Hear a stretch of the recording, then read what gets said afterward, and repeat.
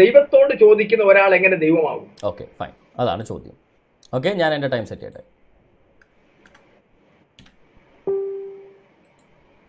ഇവിടെ വളരെ വ്യക്തമായിട്ട് ക്രിസ്തീയ വിശ്വാസം പഠിപ്പിക്കുന്നത് ദൈവം എന്ന് പറയുന്നത് സകലത്തിന്റെയും സൃഷ്ടാവ് ഉടയവനായ അദൃശ്യനും അക്ഷയനുമായ സകല പ്രപഞ്ചത്തിൽ ഒരുപോലെ നിറഞ്ഞു നിൽക്കുന്നവനാണ് ദൈവം. ആ ദൈവം മനുഷ്യരുടെ ഇടയിൽ പ്രത്യക്ഷനായതാണ് യേശു ക്രിസ്തു അല്ലാതെ ദൈവം ഇല്ലാതായി തീർന്നിട്ട് ഇൻകാർണേറ്റ് ചെയ്ത് വന്നതല്ല. ദൈവം ഇല്ലാതായി തീർന്നിട്ട് ഇങ്ങനെ ചുരുങ്ങി ഒരു മനുഷ്യനെ തീർന്നതല്ല. അബ്രഹാമിന്റെ അടുക്കൽ ദൈവം പ്രത്യക്ഷനായപ്പോഴും മോശയുടെ അടുക്കൽ ദൈവം പ്രത്യക്ഷനായപ്പോഴും ദൈവം പിന്നെ പ്രപഞ്ചത്തിലില്ലാതെ പ്രപഞ്ചം ദൈവമില്ലാതെ ശൂന്യമായി പോയെന്ന് ബൈബിൾ ഒരു സ്ഥലത്തും പഠിപ്പിക്കുന്നില്ല. ദൈവം സർവവ്യാപിയാണ് അവൻ മാറ്റമില്ലാത്തവനാണെന്ന് ബൈബിൾ പഠിപ്പിക്കുന്നത് അപ്പോൾ അദൃശ്യനായ ദൈവം മനുഷ്യനായി പ്രത്യക്ഷനായി നിൽക്കുന്നു. ഇതാണ് ക്രിസ്തീയ വിശ്വാസം പഠിപ്പിക്കുന്നത്. അദൃശ്യനായ ദൈവം എന്നുള്ള നിലയിൽ അവന് ചിന്താശേഷിയുണ്ട് അവന് സംസാരിക്കാൻ കഴിയും അവന് പ്രവർത്തിക്കാൻ കഴിയും. അവൻ മനുഷ്യനായിട്ടാണ് പ്രത്യക്ഷമാകുന്നത്. ഏത് രൂപത്തിലാണ് പ്രത്യക്ഷമാകുന്നത്? മനുഷ്യൻ എന്ന രൂപത്തിലാണ് പ്രത്യക്ഷമാകുന്നത്. മനുഷ്യൻ എന്ന രൂപത്തിൽ അവൻ പ്രത്യക്ഷനാകുമ്പോൾ ആ മനുഷ്യൻ എന്നുള്ള നിലയിൽ അവൻ ജനിച്ചു. അവൻ ജീവിച്ചു. അവൻ കരഞ്ഞു. അവൻ ചിരിച്ചു. അവൻ ഭക്ഷണം കഴിച്ചു. കാര്യം ഒരു മനുഷ്യ ശരീരത്തിന് ജനനമുണ്ട്. ഒരു മനുഷ്യരത്തിന് മരണമുണ്ട്. ഒരു മനുഷ്യരത്തിന് കരച്ചിലുണ്ട്. ഒരു മനുഷ്യരത്തിന് വിശപ്പുണ്ടും ദാഹമുണ്ട്. അവൻ ഭക്ഷണം കഴിച്ച് കരഞ്ഞു. എന്തിനറിയപ്പെടുന്ന ഒരു ശിശുവായിരിക്കുമ്പോൾ എല്ലാ മനുഷ്യ കുഞ്ഞുങ്ങളും ചെയ്യുന്ന പോലെ കിടന്ന കിടപ്പേക്കിരുന്ന് അപ്പി വരെ ഇട്ടിട്ടുണ്ട്. അതാണ് ഒരു മനുഷ്യനായിട്ട് ജനിച്ചുകൊണ്ടാണ് അങ്ങനെ വരുന്നത്. ദൈവം ഒരു മനുഷ്യനായിട്ട് പ്രത്യക്ഷനായതുകൊണ്ടാണ് അങ്ങനെ സംഭവിക്കുന്നത്. അപ്പോൾ മനുഷ്യനായി ദൈവം പ്രത്യക്ഷമാകുമ്പോൾ ഒരു മനുഷ്യൻ എന്നുള്ള നിലയിൽ ആ മനുഷ്യ തലച്ചോറ് കൊണ്ട് ഒരു സാധാരണ മനുഷ്യൻ എങ്ങനെ പ്രതികരിക്കുമോ അതുപോലെ യേശുവിന് പ്രതികരിക്കാൻ സാധിക്കും. അതുകൊണ്ടാണ് യേശു ക്രിസ്തു അവിടെ നിന്ന് പ്രാർത്ഥിക്കുന്നതും അവിടെ നല്ല എവിടെയാണെങ്കിലും യേശു ക്രിസ്തു പ്രാർത്ഥിക്കുന്നത് അതുകൊണ്ടാണ്. യേശു ക്രിസ്തു കരയുന്നത് അതുകൊണ്ടാണ്. തന്റെ സുഹൃത്ത് മരിച്ചാൽ ഏതൊരു മനുഷ്യൻ കരയുന്ന പോലെ യേശു ക്രിസ്തു കരയുന്നത് അതുകൊണ്ടാണ്. കാര്യം ദൈവം മനുഷ്യനായി തീരുകയല്ല ചെയ്തത്. ദൈവം മനുഷ്യനായി പ്രത്യക്ഷനാകുകയാണ് അവൻ ജഡത്തിൽ വെളിപ്പെട്ടു. അവൻ ജഡത്തിൽ വെളിപ്പെട്ടു എന്ന് മാനിഫെസ്റ്റ് ചെയ്തു എന്ന് പറഞ്ഞ പ്രത്യക്ഷനായി എന്ന് പറഞ്ഞ അല്ലാതെ പ്രപഞ്ചത്തിൽ ദൈവം ഇല്ലാതായി തീർന്ന് ദൈവം ഒരു മനുഷ്യനായി മാറുക എന്നല്ല അർത്ഥം. ദൈവം ഒരിക്കലും മനുഷ്യനായി മാറാൻ പറ്റില്ല. ദൈവം മനുഷ്യനായിട്ട് പ്രത്യക്ഷനായെന്നാണ് ബൈബിൾ പഠിപ്പിക്കുന്നത്. അപ്പോൾ മനുഷ്യനായിട്ട് പ്രത്യക്ഷനായി നിൽക്കുമ്പോൾ മനുഷ്യന്റെ തലച്ചോറിൽ മനുഷ്യ ശരീരത്തിൽ നിന്നുകൊണ്ട് അവന് കരയാം അവന് ചിരിക്കാം അവന് ശാസിക്കാം അവന് ദേഷ്യപ്പെടാം നിലയിൽ അവന് ചെയ്യാം. അതേസമയം തന്നെ യേശുവായി പ്രത്യക്ഷനായി നിൽക്കുന്ന സർവശക്തനായ ദൈവമാണ് ദൈവം എന്നുള്ള നിലയിൽ ലാസറിന്റെ അടുക്കൽ ചെന്നിട്ട് ദൈവമേ ലാസറിനെ പുറത്തിറക്കണേന്ന് യേശു പ്രാർത്ഥിച്ചിട്ടില്ല. പിതാവേ നിന്റെ മഹത്വം വെളിപ്പെടേണ്ടതിന് എന്ന് പറഞ്ഞിട്ട് യേശുക്രിസ്തു പറയുന്നത് എന്താ? ലാസറെ ദൈവമേ ലാസർ പിതാവേ ലാസറിനെ പുറത്തിറക്കണമെന്നല്ല യേശുക്രിസ്തു പറയുന്നത്. ലാസറേ നീ പുറത്തു വരിക എന്നാ പറയുന്നത്. അല്ലാതെ ആരോടും യേശുക്രിസ്തു ലാസറിനെ ജീവിപ്പിക്കണമെന്ന് യേശുക്രിസ്തു പ്രാർത്ഥിച്ചിട്ടില്ല. ആരുടെയെങ്കിലും നാമത്തിൽ ലാസർ ജീവിക്കണമെന്ന് യേശുക്രിസ്തു പ്രാർത്ഥിച്ചിട്ടില്ല. മരിച്ചവനെ നീ പുറത്തു വരിക എന്ന ഒരൊറ്റ കമാൻഡ്മെന്റ് കൊണ്ട് മരിച്ചവന്റെ മരണത്തിന്റെ ബന്ധനം മരിച്ചവൻ പുറത്തു വന്നിട്ടുണ്ടെങ്കിൽ നൂറ് ശതമാനം ഉറപ്പിച്ചു ആ മനുഷ്യനെ പോലെ അവിടെ നിന്ന് കരയുകയും ചിരിക്കുകയും ചെയ്യുന്ന ആ മനുഷ്യൻ സാധാരണ ഒരു മനുഷ്യനല്ല. അവൻ സർവശക്തനായ ദൈവമാണ് മനുഷ്യനായിട്ട് പ്രത്യക്ഷം. അതുകൊണ്ടാണ് മരിച്ചവനെ നീ പുറത്തു വരിക ലാസറെ നീ പുറത്തു വരിക എന്നൊരു ഒറ്റ കൽപ്പനയെങ്കിൽ ആ ലാസർ മരിച്ച ലാസർ എഴുന്നേറ്റ് നടന്നു വന്നെങ്കിൽ അത് അവൻ ദൈവമായതിന്റെ ഏറ്റവും വലിയ തെളിവ്. അതിനപ്പുറം ഒരു തെളിവ് ആവശ്യമില്ല. ഓക്കെ താങ്കളുടെ രണ്ട് മിനിറ്റ് ആണ് ഇനി. അതെ യേശു അവിടെ യേശു പറയുന്നത് എന്താണ് പറയുന്നത്?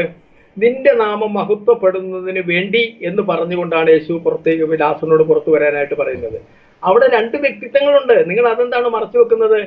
അവിടെ ദൈവം മനുഷ്യനായി അവതരിക്കേണ്ട ആവശ്യം എന്താണെന്നൊരു ചോദ്യം കിടക്കുകയാണ്. ഒന്ന് യേശു മനുഷ്യൻ മനു ദൈവം മനുഷ്യനായി പ്രത്യക്ഷപ്പെടേണ്ടതോ മനുഷ്യനായി അവതരിക്കേണ്ടതോ ആവശ്യമില്ല എന്നത് വളരെ വ്യക്തമായി ഇരമ്യ പ്രവാചന്റെ പുസ്തകം പതിനെട്ടാം അധ്യായം പറയുന്നതാണ്. അങ്ങനെ ഒരു ആവശ്യമില്ല. അത് പ്രവാചക പുസ്തകങ്ങളെ നിങ്ങൾ അംഗീകരിക്കുന്നുവെങ്കിൽ ഇരമ്യ പ്രവാചകം പറയുന്നത് തന്നെയാണ്. അങ്ങനെ ഒരു ആവശ്യം അവിടെ ഉണ്ടാവുന്നില്ല. അപ്പൊ ഇവിടെ യേശു യേശു പിന്നെ ഞാൻ ആദ്യമേ ഞാൻ ഇവിടെ സൂചിപ്പിച്ചതാണ്. അത്ഭുതം പ്രവർത്തിച്ചാൽ യേശു ദൈവമാകും. യേശു കരഞ്ഞു കഴിഞ്ഞാൽ മനുഷ്യനാകും. ഇങ്ങനെ പറഞ്ഞു കഴിഞ്ഞാൽ ഇങ്ങനെ പറഞ്ഞുകൊണ്ടിരിക്കാനും പറ്റും. സഹതിപ്പിക്കാനേ ഒക്കുള്ളൂ നിങ്ങളുടെ മുമ്പിൽ ഇങ്ങനെ വന്നു കഴിഞ്ഞാൽ. വ്യക്തമായ മറുപടി ആ വിഷയത്തിൽ ഇല്ല രണ്ട് വ്യക്തിത്വങ്ങൾ അവിടെ നിൽക്കുകയാണ്. എന്ന് പറഞ്ഞാൽ വണ്ണസിന് പോലും അതിന് തെളിവില്ല എന്നാണ് മനസ്സിലാക്കാൻ കഴിയുന്നത്. കാരണം എന്ന് പറഞ്ഞാൽ രണ്ട് ദൈവമുണ്ട്. തൃത്വത്തിന് ബൈബിളിൽ തെളിവുണ്ട്. പക്ഷെ വണ്ണത്തിന് തെളിവില്ല. കാരണം യേശുവിനെ നിങ്ങൾക്ക് ഉപേക്ഷിക്കേണ്ടി വരും. അതല്ലെങ്കിൽ യാഹുവെ ഉപേക്ഷിക്കേണ്ടതായിട്ട് വരും പരിശുദ്ധാത്മാവിനെ ഉപേക്ഷിക്കേണ്ടതായിട്ട് വരും. ആരെങ്കിലും ഒക്കെ രണ്ടോ ഒന്നോ രണ്ടോ പേരെ ഉപേക്ഷിച്ചാൽ മാത്രമേ ആ ഒരു തീരുമാനത്തിൽ എത്താൻ കഴിയുള്ളൂ. ഇവിടെയാണ് വിശുദ്ധ ഖുർആാനിലെ ഏകദൈവത്തിന്റെ പ്രസക്തി നിലനിൽക്കുന്നത്. അത് അറബി ഗോത്രത്തിന്റെ ദൈവമല്ല എന്ന് ബ്രദർ പഠിക്കണം എന്ന് മാത്രമാണ് എനിക്ക് സൂചിപ്പിക്കാൻ സമയമുണ്ടോ? നാൽപ്പത് സെക്കൻഡ് നാൽപ്പത് സെക്കൻഡ് ഫോർട്ടി സെക്കൻഡ്സ്. ആ അതിന് ഞാൻ ചോദിക്കട്ടെ ഭക്ഷണ ഭക്ഷണ ഭക്ഷണത്തിന്റെ വിഷയങ്ങൾ പറഞ്ഞു? ഭക്ഷണത്തിന്റെ വിഷയമില്ല ലോകത്തിന്റെ അടുക്കൽ ചെന്ന ദൂതന്മാരെ സംബന്ധിച്ച് അവർ ഭക്ഷണം കഴിച്ചില്ല.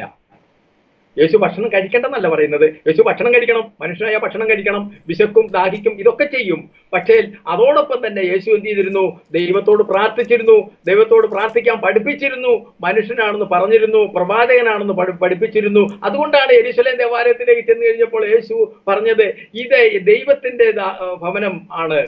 ഇത് യഹോവയുടെ നാമം യഹോവയുടെ ഭവനമാണ്. ഇതിൽ നിങ്ങൾ കള്ളന്മാരുടെ ഗുഹയാക്കി എന്ന് പറയുന്നത്. അതും എന്റെ എന്നല്ല യേശു പറഞ്ഞത്. യഹോവയുടെ ആലയം എന്നാണ് പറഞ്ഞത്. ഓക്കെ ഫൈൻ എന്തായാലും യേശുക്രിസ്തു യഹോവ എന്ന് പറഞ്ഞിട്ടുണ്ടെന്ന് അദ്ദേഹം സമ്മതിച്ച് ഞാൻ അത് അപ്രീഷിയേറ്റ് ചെയ്യുന്നു. താങ്കളുടെ വാദഗതികൾക്ക് യാതൊരു വിധത്തിലും നിലനിൽപ്പില്ല. കാര്യം ലോത്തിന്റെ അടുക്കൽ പോയ ദൂതന്മാർ ഭക്ഷണം കഴിച്ചോ? യേശു ഭക്ഷണം കഴിച്ചു? അവർ ഭക്ഷണം കഴിച്ചില്ല എന്ന് താങ്കൾ പറയുന്നത്. വ്യക്തമായിട്ട് ബൈബിളിൽ രേഖപ്പെടുത്തിയിട്ടുണ്ട്. ഉൽപ്പത്തി പുസ്തകം പതിനെട്ടാം അധ്യായത്തിൽ അബ്രഹാമിന്റെ അടുക്കൽ വന്ന മൂന്ന് പേരും ഭക്ഷണം കഴിച്ചു എന്ന് കൃത്യമായിട്ട് പറയുന്നത് യഹോവയും ഭക്ഷണം കഴിച്ചു. രണ്ട് ദൂതന്മാരും ഭക്ഷണം കഴിച്ചു. എന്ന് കൃത്യമായിട്ട് എന്റെ എട്ടാം വാക്യത്തിൽ പിന്നെ അവൻ വെണ്ണയും പാലും താൻ പാകം ചെയ്യിച്ച കാളക്കുട്ടിയും കൊണ്ടുവന്ന് അവരുടെ മുമ്പിൽ വെച്ചു. അവരുടെ അടുക്കൽ വൃക്ഷത്തിനുള്ളിൽ ശുശ്രൂഷിച്ചിരുന്നു. അവർ ഭക്ഷണം കഴിച്ചു എന്ന് പറയുന്നുണ്ട്. അപ്പോൾ ദൈവം മനുഷ്യനായിട്ട് പ്രത്യക്ഷനായാൽ അവന് ഭക്ഷണം കഴിക്കാൻ സാധിക്കും. അതിനകത്ത് ഒരു തർക്കവും ഇല്ല ദൈവം ആ ദൈവം മനുഷ്യനായിട്ട് പ്രത്യക്ഷനായി കഴിഞ്ഞാൽ ഞാൻ ചോദിക്കട്ടെ ദൈവം മനുഷ്യനായിട്ട് പ്രത്യക്ഷനായി കഴിഞ്ഞാൽ അവൻ ഭക്ഷണത്തിന് വേണ്ടി ഒരു ഒരു മനുഷ്യന്റെ ഭവനത്തിലേക്ക് കടന്നു ചെല്ലുന്നതായിട്ട് നമുക്ക് അവിടെ കാണാം. കാര്യം അബ്രഹാം പറയുന്ന കാര്യം ഇതാ. നാലാം വാക്യത്തിൽ അസാരം വെള്ളം കൊണ്ടുവന്ന് നിങ്ങളുടെ കാലുകളെ കഴുകട്ടെ വൃക്ഷത്തിൻ കീഴിലിരിപ്പിൻ ഞാൻ ഒരു മുറി അപ്പം കൊണ്ടുവരാം വിശപ്പടക്കിയിട്ട് നിങ്ങൾക്ക് പോകാം. ഇതിനായിട്ടല്ലോ നിങ്ങൾ അടിയന്റെ അടുക്കൽ വന്നത്. അതായത് ഒരു വഴിയാത്രക്കാരായ അഭയാർത്ഥികളെ പോലെ ദൈവം അബ്രഹാമിന്റെ അടുക്കൽ ചെന്നായിട്ട് ബൈബിളിൽ പറയുന്നു. അപ്പൊ ദൈവം മനുഷ്യനായിട്ട് പ്രത്യക്ഷനായാൽ ഒരു മനുഷ്യനെ പോലെ ആക്ട് ചെയ്യുന്നുള്ള ഏറ്റവും വലിയ തെളിവല്ലേ? പിന്നെ ദൈവം മനുഷ്യനെ പ്രത്യക്ഷനെ പ്രാർത്ഥിക്കാൻ സാധിക്കില്ലെന്ന് താങ്കൾ എന്തുകൊണ്ടാ പറയുന്നത് താങ്കളുടെ മുന്നിൽ ദൈവം ഇപ്പോൾ മനുഷ്യനെ പ്രത്യക്ഷനായി കഴിഞ്ഞാൽ ആ മനുഷ്യത്തിന് പ്രാർത്ഥിക്കാൻ സാധിക്കില്ലേ? ഞാൻ അങ്ങനെ പറഞ്ഞില്ലല്ലോ. അപ്പോ? ഞാൻ പറഞ്ഞ മനുഷ്യനെ മനുഷ്യന് ദൈവത്തിന് മനുഷ്യനെ അവതരിക്കേണ്ട ആവശ്യമില്ല. എന്ത് താങ്കളാണോ? എവിടെയാണ്? എവിടെയാണ് പറയുന്നത്? ദൈവത്തെ. എവിടെയാ പറയുന്നത്? അല്ല അപ്പോ അല്ല ഒരു സെക്കൻഡ് അല്ല പുറപ്പാട് പുസ്തകം അല്ലെ ഉൽപ്പത്തി പുസ്തകത്തിൽ ഉൽപ്പത്തി പുസ്തകം പതിനെട്ടാം അധ്യായത്തിൽ ദൈവം മനുഷ്യനെ പ്രത്യക്ഷനായി എഴുതിയിരിക്കുന്നത് താങ്കൾ എന്താ എടുക്കുന്നില്ലേ? അല്ല അനന്തരം യഹോവ? അനന്തരം യഹോവ ആ അവന് മമ്രയുടെ തോപ്പിൽ വെച്ച് പ്രത്യക്ഷനായി. വെയിലുറച്ചപ്പോൾ അവൻ കൂടാരവാതിൽക്കൽ ഇരിക്കുകയായിരുന്നു. അവൻ തലപൊക്കി നോക്കിയപ്പോൾ മൂന്ന് പുരുഷന്മാർ തന്റെ നേരെ നിൽക്കുന്നത് കണ്ടു. അവിടെ കൃത്യമായിട്ട് പുരുഷന്മാർ മനുഷ്യർ എന്ന് കൃത്യമായിട്ടാ പറയുന്നത് ബ്രദർ, നിങ്ങൾ ഒരു കാര്യം കൂടെ അപ്പൊ ദൈവം പ്രത്യക്ഷനാകുമോ ഇല്ലെന്ന് താങ്കൾ എന്തുകൊണ്ടാ പറയുന്നത് ദൈവം പ്രത്യക്ഷനാകില്ല എന്ന് ഞാൻ പറഞ്ഞില്ല. അപ്പൊ ദൈവം പ്രത്യക്ഷനാകുമല്ലോ? ആണല്ലോ? ദൈവം ഇനി ദൈവം ഒരു ശിശുവായി. ജനിക്കുമെന്ന് ബൈബിളിൽ പറയുന്നുണ്ടോ? ദൈവം അല്ല ദൈവം ഒരു ശിശുവായി ജനിക്കുമെന്ന് ബൈബിളിൽ പറയുന്നുണ്ടോ? എങ്ങനെ?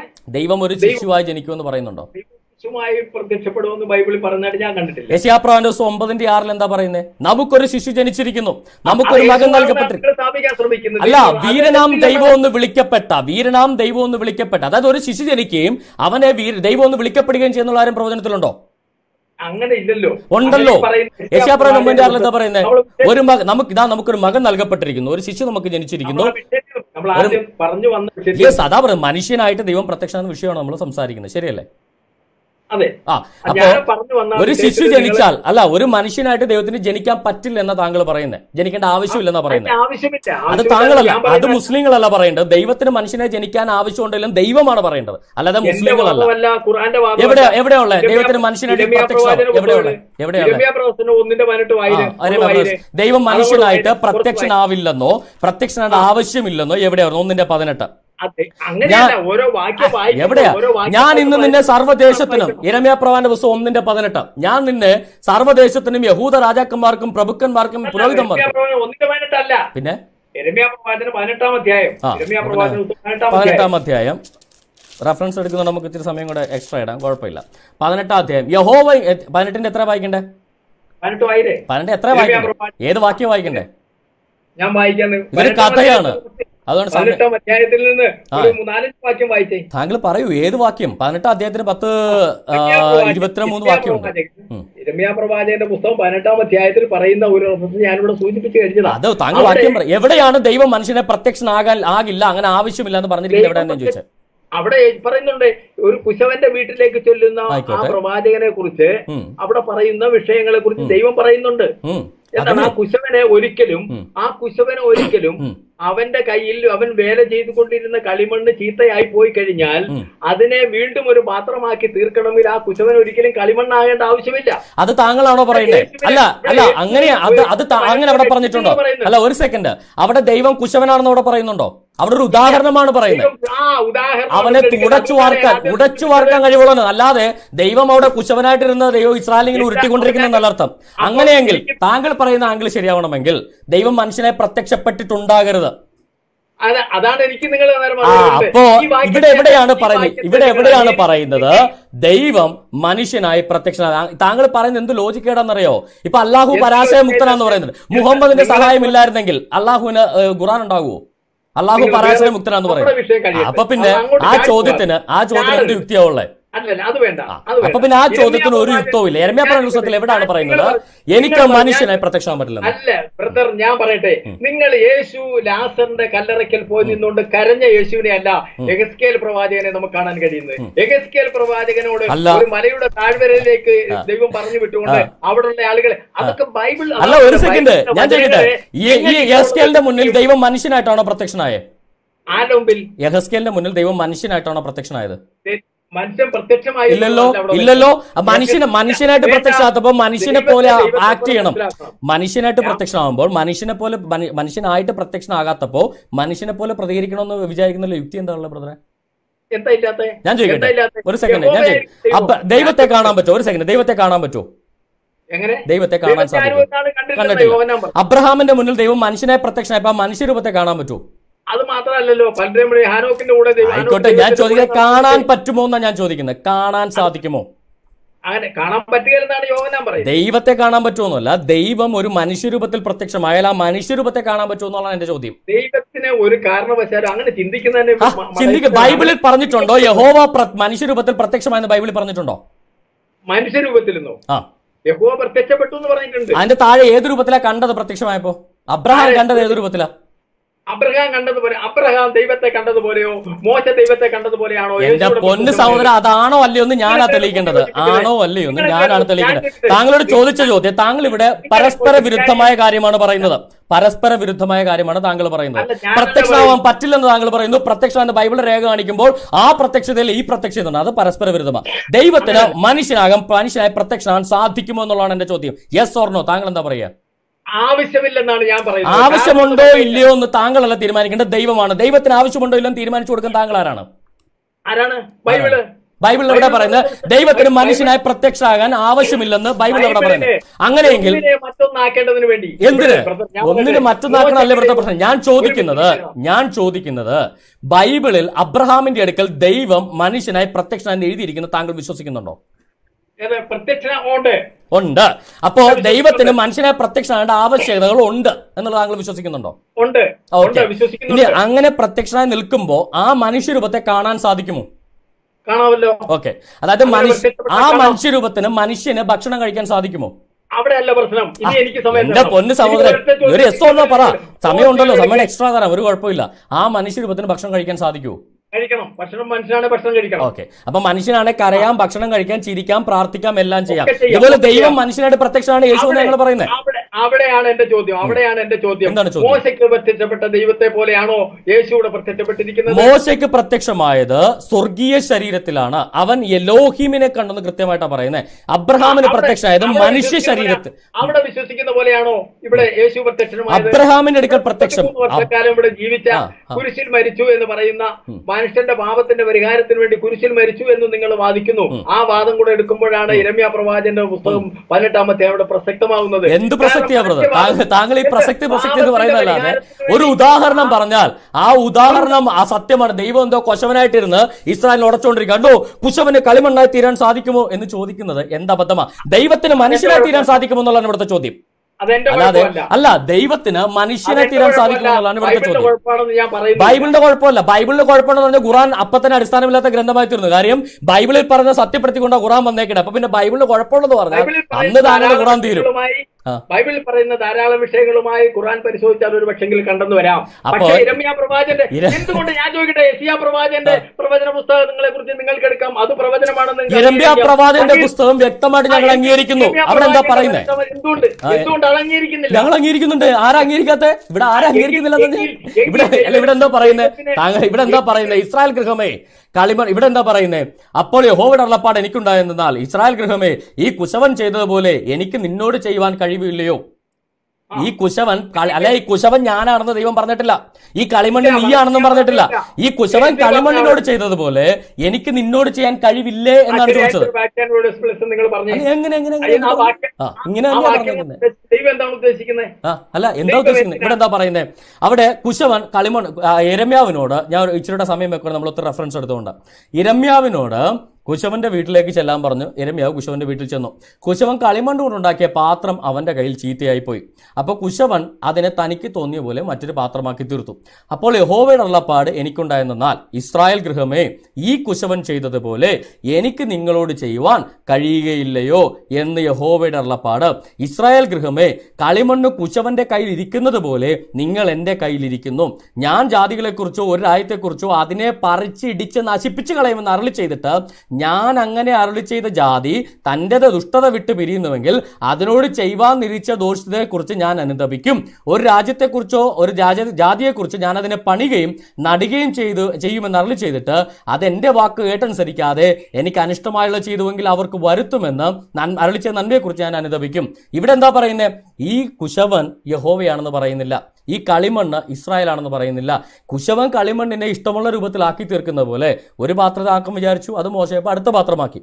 ഇതുപോലെ എനിക്കും നിങ്ങളുടെ മേൽ സ്വാ നിങ്ങളുടെ മേലെന്നല്ല ഏത് ജാതിയുടെ മേലും എനിക്ക് സ്വാതന്ത്ര്യമുണ്ട് എന്നാണ് അവിടെ പറയുന്നത്. അല്ലാതെ ആ കണ്ടോ കുശവൻ കളിമണ്ണ്. ആ അപ്പോൾ യഹോവ കുശവൻ ഇത് കളിമണ്ണ്. അപ്പോൾ കളിമ കുശവൻ എപ്പോഴെങ്കിലും കളിമണ്ണായി തീരാൻ സാധിക്കുമോ എന്ന് ചോദിച്ചാൽ കളിമണ്ണിന് ഭക്ഷണം കഴിക്കേണ്ട കാര്യമില്ല. അപ്പൊ ഇസ്രായേലിന് ഭക്ഷണം കഴിക്കാതെ ജീവിച്ചു എന്നാണ്. കളിമണ്ണിന് ജീവനില്ല അപ്പൊ ഇസ്രായേലിന് ജീവനില്ല എന്നാണ് അതിനർത്ഥം. അതൊക്കെ എന്തൊരു അബദ്ധ സഹോദര.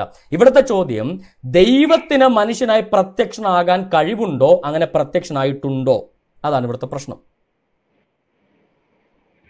ദൈവത്തിനെ നിങ്ങൾ വാസ്തവത്തിൽ എന്തായി പറയുന്നത് ഇവിടെ എന്റെ ചോദ്യം ദൈവത്തിന് മനുഷ്യനായി വീണ്ടും നിങ്ങൾ ഇടപെടാതെ. ഞാൻ ഞാൻ ഒരു കാര്യം പറയട്ടെ. പറഞ്ഞോളൂ, പറഞ്ഞോളൂ. പറയട്ടെ. ഇരമ്യ പ്രവാചകന്റെ പുസ്തകം പതിനെട്ടാം അധ്യായത്തിൽ പറയുന്ന ആ ഒരു ഉപമ ദൈവം പറയുകയാണ് അവിടെ. പ്രവാചകർ പ്രവാചകനോട് ഒരു ഉപമ പറയുകയാണ്. ഉപമയിലേക്ക് നമുക്ക് പറയാം. യേശുവിന്റെ ധാരാളം ഉപമകളുണ്ട്. ആ ഉപമകളിലേക്ക് ദൈവം വന്നിട്ട് പറയാണ് ഇസ്രായേൽ ഗ്രഹമേ ഈ കുശവന്റെ കയ്യിൽ കളിമണ്ണ് എങ്ങനെ ഇരിക്കുന്നുവോ അതുപോലെ നിങ്ങൾ എന്റെ കയ്യിൽ ഇരിക്കുന്നു. താഴേക്ക് അതിന്റെ അർത്ഥം കൂടെ പറയുന്നുണ്ട്. അതിന്റെ അർത്ഥം കൂടെ പറയുന്നുണ്ട്. താഴേക്ക് വായിച്ചോളൂ അർത്ഥം പറയാം. നിങ്ങൾ ആ- കുശവന്റെ കയ്യിലിരിക്കുന്ന പറഞ്ഞാൽ അവിടെ ഉപമയിൽ ഉപമയിൽ ഉപമയിൽ ശരിക്കും പറഞ്ഞു കഴിഞ്ഞാൽ ആ കളിമണ്ണ് എന്ന് പറയുന്നത് അവിടുത്തെ ഇസ്രായേൽ ജനവും അതുപോലെ തന്നെ കുശവൻ എന്ന് പറയുന്നത് യഹോവയുമാണ്. അവിടെ മനസ്സിലാക്കാൻ കഴിയുന്നത് അതിന്റെ അർത്ഥം കൂടെ വായിക്കാം. അതിന്റെ അടുത്ത വാക്യത്തിന്റെ അർത്ഥം പറയുന്നുണ്ട്. അതുകൊണ്ട് വായിക്കും. എന്റെ അർത്ഥം വായിക്കാം. എന്താ ഏത് വേണേലും വായിക്കാം. അതിന്റെ തൊട്ട് താഴത്തെ വാക്യം കൂടെ വായിച്ചാൽ മതി. അതിന്റെ അർത്ഥം കൂടെ പറയുന്നുണ്ട്. ആയിക്കോട്ടെ. എത്രാമത്തെ ആ ഉപമ എന്താണ് അർത്ഥമാക്കുന്നത് അവിടെ ഞാൻ നിങ്ങൾക്കെതിരെ ആ വചനം. പറഞ്ഞോളൂ പറഞ്ഞോളൂ. കുഴപ്പമില്ല പറഞ്ഞോളൂ. ഞാൻ ഒരു ജാതിയെ കുറിച്ചോ ഒരു രാജ്യത്തെ കുറിച്ചോ അതിനെ പറിച്ച് ഇടിച്ച് നശിപ്പിച്ച് കളയുമെന്ന് അരുളി ചെയ്തിട്ട് ഞാൻ അങ്ങനെ അരുളി ചെയ്ത ജാതി തന്റെ ദുഷ്ടത വിട്ട് തിരിയുന്നുവെങ്കിൽ അതിനോട് ചെയ്യുവാൻ നിരൂപിച്ച ദോഷത്തെ കുറിച്ച് ഞാൻ അനുഭവി അനുദപിക്കും അവിടെ അപ്പൊ- മനുഷ്യൻ അപ്പൊ അവിടെ കണ്ടോ? അവിടെയും കണ്ടോ? യേശുവിന്റെ ആഗമനത്തിന് ആവശ്യമില്ല എന്നുള്ളതിന് തെളിവാണ് എന്താ അവിടെ ആവശ്യമില്ലാന്ന്? വരുന്നത്. അനുദപി- അനു- അനുദപിക്കുന്ന ആ. അനുദപിക്ക അത് യോനയുടെ പുസ്തകം നമുക്ക് വായിച്ചു നോക്കിയേ. അവിടെ എന്താ ദൈവം പറയുന്നത്. യോനയോട് എന്താണ് ദൈവം. പറയുന്നത്? യോനയോട് ദൈവം പറയുന്നത് ഇടം കൈയും വല കൈയും തിരിച്ചറിയാത്ത ഒരു ലക്ഷത്തിലെ ജനം ആളുകൾ അവിടെയുണ്ട്. ആ. മനസ്സിലായില്ലേ. അവർ നശിച്ചു പോകുന്നതിൽ എനിക്ക് അയ്യോ പാപമുണ്ട് അതിന് അല്ല അല്ല ഒരു സെക്കൻഡ് ഒരു സെക്കൻഡ്.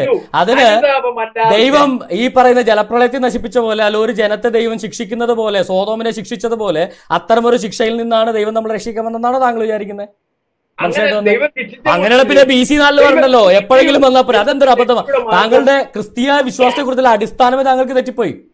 ഒരു ജനതയുടെ അടിസ്ഥാനം. തെറ്റി അതാ താങ്കൾ ബൈബിളിനെ മനസ്സിലാക്കിയിരുന്നത് തികച്ച അബദ്ധമായ രീതിയിലാണ്. അതാണ് താങ്കൾക്ക് പറ്റുന്നത്. അതായത് ഇപ്പൊ സോതോബിന്റെ രക്ഷ അല്ല നോഹയുടെ ജലപ്രളയം നിങ്ങൾ ഇവിടെ കൊണ്ടുവന്ന എന്തായിരുന്നാലും നന്നായി. എന്തായിരുന്നു ആ പ്രളയത്തിന് ശേഷം അതിന് മുമ്പല്ലേ പിന്നെ ഇവിടെ ഈ ഈ എന്താ ഉള്ളത് ശിശു ശിശുപാപമുള്ളത്? എന്ത് എന്ത്? ആര് പറഞ്ഞു? ആര് പറഞ്ഞു? ഇവിടെ ജന്മപാപവും കർമ്മപാപവും എന്നൊരു പാപം ബൈബിളിലുണ്ടോ? ബൈബിളിൽ ജന്മപാപം എന്ന കർമ്മപാപം എന്നൊരു പാപം ഉണ്ടോ ബൈബിളിൽ? താങ്കൾ. താങ്കൾ ഈ ബൈബിളിലില്ലാത്ത പിന്നെ ക്രിസ്ത്യാനിറ്റി ബൈബിളാണ്. അല്ലാതെ താങ്കൾ തന്നെ പറഞ്ഞില്ലേ? അങ്ങനെ പിന്നെ ബഹുദൈവ വിശ്വാസികളായ എത്ര കബറങ്കൽ പ്രാർത്ഥിക്കുന്ന എത്ര മുസ്ലിങ്ങളുണ്ട്? അവരൊന്നും മുസ്ലിങ്ങളെല്ലാം താങ്കൾ പറയുന്നില്ലേ? അപ്പൊ ബൈബിളാണ് ഇവിടെ പ്രധാനം. ഇവിടെ ചർച്ച ബൈബിളും ഖുറാനുമാ അല്ല ആളുകൾ എന്തൊക്കെ പഠിപ്പിക്കുന്നുണ്ടോ എന്നുള്ളതല്ല. ബൈബിളിൽ ജന്മഭാവം ഒന്നുണ്ടോ? ബൈബിൾ പറയുന്ന ഞാൻ യേശു പ്രത്യക്ഷപ്പെട്ടത് എന്തിനാ? യേശു ക്രിസ്തു പ്രത്യക്ഷപ്പെട്ടത് ആദാമിനെ ദൈവം തന്റെ മനുഷ്യനെ തന്റെ പുത്രനായിട്ടാണ് ആദാമിനെ ദൈവം കണക്കാക്കി. ആദാം ദൈവത്തിന്റെ മകൻ. ആ പുത്രത്വം ആദത്തിന്റെ പാപത്തിലൂടെ നഷ്ടപ്പെട്ടു പോവുകയും അങ്ങനെ അവന്റെ സന്തതി പരമ്പരകൾക്ക് തിരിച്ച് ആ പുത്രത്വത്തിലേക്കുള്ള വഴി കാണിക്കാൻ വേണ്ടിയാണ് യേശു ക്രിസ്തു വന്നത്. അതുകൊണ്ടാണ് യേശു പറഞ്ഞത് അവനെ കൈക്കൊണ്ട് അവനെ നാമത്തെ വിശ്വസിക്കുന്ന ഏവർക്കും ദൈവമക്കളാകുവാൻ അവൻ അധികാരം കൊടുത്തെന്ന് യോനൻ അപ്പോസ്റ്റൽ എഴുതി വെച്ചത്. അതുകൊണ്ടാണ് പറഞ്ഞത് ഞാൻ തന്നെയാണ് വഴിയും സത്യം ജീവനും എന്നിലൂടെയല്ലാതെ ആരും ദൈവത്തെ